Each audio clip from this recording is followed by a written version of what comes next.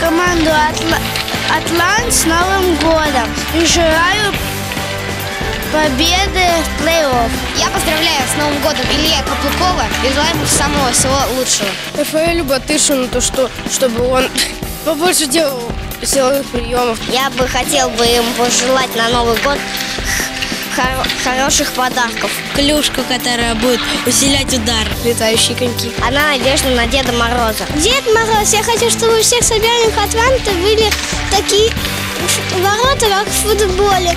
Потому что маленькие мы не забиваем. На Новый год игроки Атланты пойдут в пиццерию и будут сидеть там всю ночь. Как они будут праздновать, э, лучше вот не знать никому.